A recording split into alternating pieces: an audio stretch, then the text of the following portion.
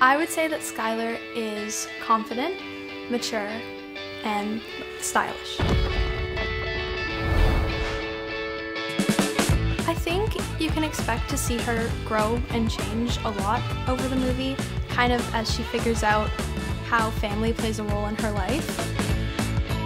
And that changes a lot. And she's also pretty tough and she gets through some pretty hard situations. Watch Life with Luca this Family Day on Family Channel.